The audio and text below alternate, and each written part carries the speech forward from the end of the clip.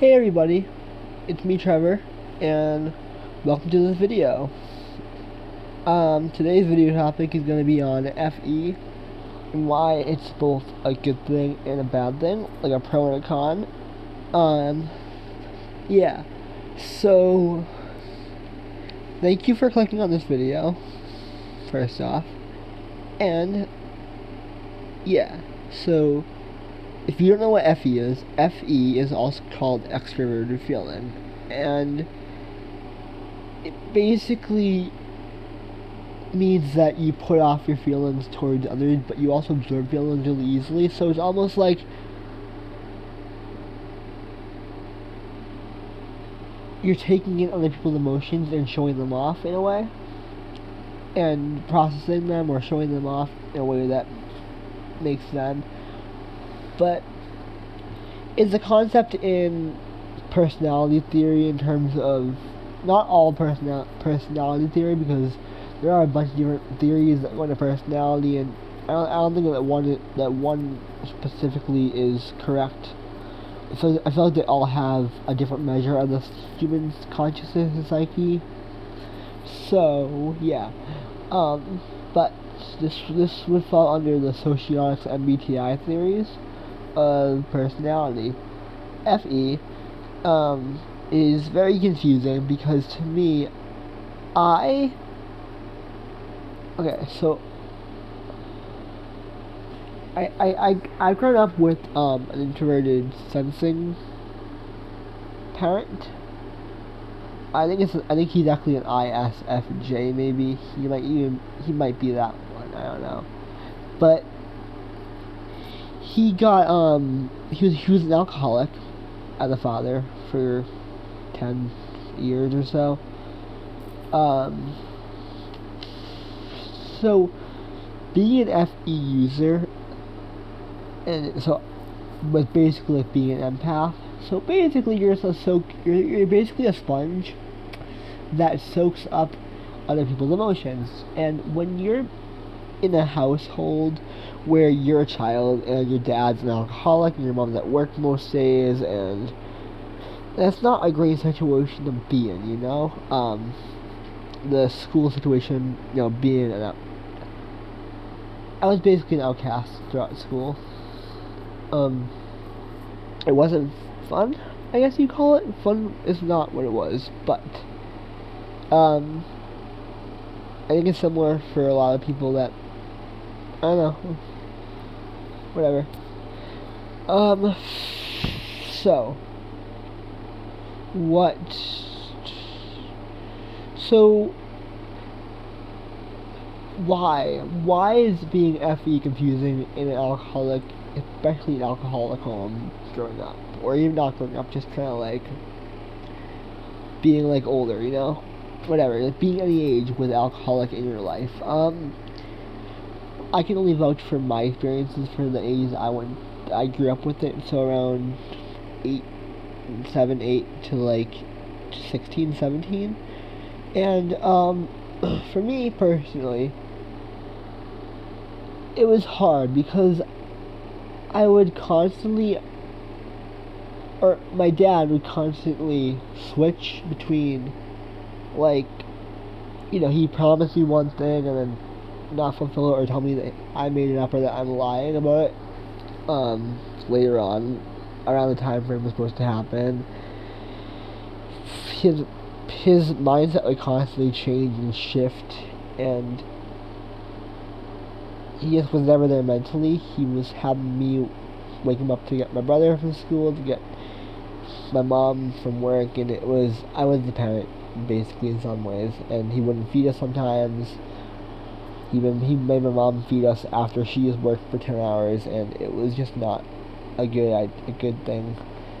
Um, but all that flipping between him caring about like you know not caring about us, but like you know make giving us food and making sure that we felt safe in some ways was good. But then being flipped back over to to not knowing what we did was wrong or to him just yelling at us because we couldn't um, solve the problem correctly after the second try of him showing us once, um, or me once, uh, you know, he would, it got to the point where he, well, my arm locked up, my left elbow locked up, and he just was so adamant of me doing my homework that he didn't care if my arm was locked up, even though it wasn't my writing arm. It was still freaking me out as like a, a 12 year old. So my mind was was was consciously more more focused on the elbow being locked up than my homework at the time. So it's not like you know it's hard. It was hard. Um, having your views constantly shifting from one side to the other, back and forth, back and forth, like a tennis ball on a, on a, on a, um, like, uh, like a tennis ball in a tennis match. There we go, Trevor. Good job. Um, but yeah, um, I mean, I do enjoy, I do like to be able to read people be able to feel people's emotions in a way, to be able to know what people are feeling, and be able to see see in like in their experiences, like in real life or whatever. Be able to see like if I'm being, if they're if they're weirded out by me, if, if they're mad about something, if they're upset about something, if they're whatever, you know, whatever the situation might be towards me or towards anything in the external world, it's just it's it's a nice thing to be able to, to read them, be able to, to, to help in some ways, to be able to offer assistance, and hopefully have them talk to talk to me, and you know, um, I think that another big issue is that, especially since it's his birthday today, my mom. My mom wants me and him to get along, but I don't want to because of all the crap he put us through and and you know, it just it's it wasn't a fun time frame for that long. The courts got involved too. Um, the police got involved a bunch of times. Uh, yeah, it it wasn't uh it wasn't fun.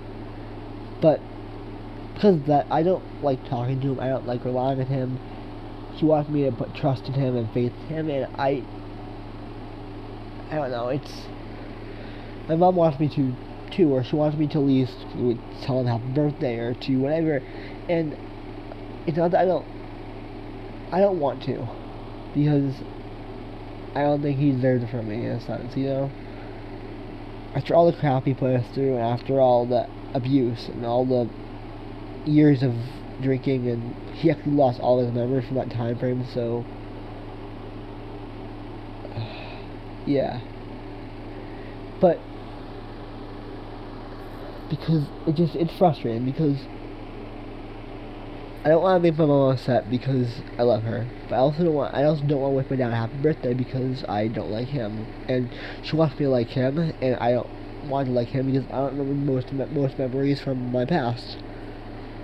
I remember the the absolute worst, and some good memories, and the rest are in like this cloudy, foggy haze of a cloud um, yeah, so,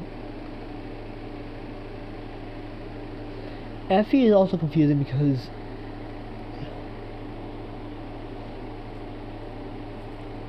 one second I'll be arguing with, with someone, and I'll be like, oh, like, I don't, I don't know, like, oh, like, I'm not this person, right? Or, like if someone were to, were to repeat something to me over and over again, ask me questions over and over again,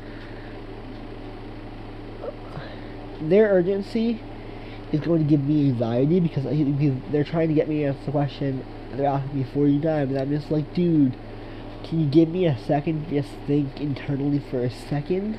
Like, you're giving me a panic attack right now in a sense, you know?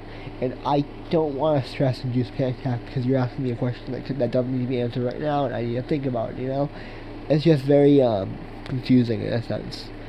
And I guess one more thing that's confusing about it is that um, like if I'm watching a YouTube video about like someone on like in med school or like baker or YouTuber or whatever, I'll be watching them and I'll pick up on their emotions of happiness and joy for their job and what, they do, and I will, uh, and I will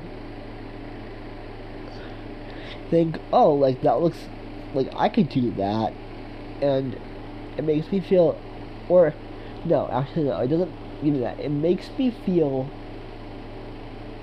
the urge to look stuff up and to research it and to, and I get joy out of researching it. So I'm like, oh, this interests me. Maybe I should do this. And I can't tell that it's the other person's emotion being put on me, and I can't tell draw the line sometimes. It's hard to be able to pick up to be able to see where that line is and not cross it or know that that line exists and know that I'm on this side and they're on that side and I don't need to be pulled on that side just because you know? And yeah um, but these are just some of my grades of FE because FE is is a great it's a good function. I like it. It's a great um yeah it's a good function but all functions have their goods and their bads, you know? And uh, I guess I don't know what, what it's like to not have FE in a sense, so if I were to be given something else or to learn something else, I don't think I could, you know? I wouldn't know what it was, or, you know? And neither would anyone else, and that's kind of